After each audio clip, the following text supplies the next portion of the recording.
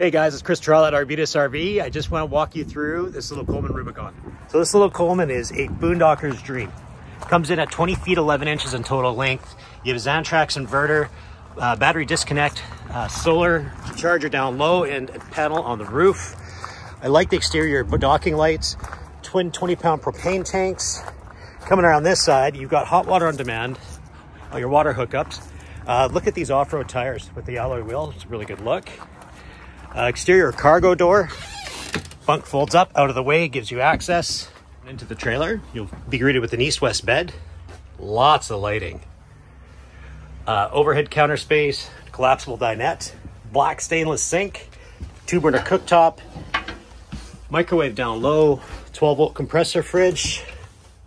Good size too. Two single bunks, and then your bathroom. If you have any questions, you know where to find me. Stand by for the number.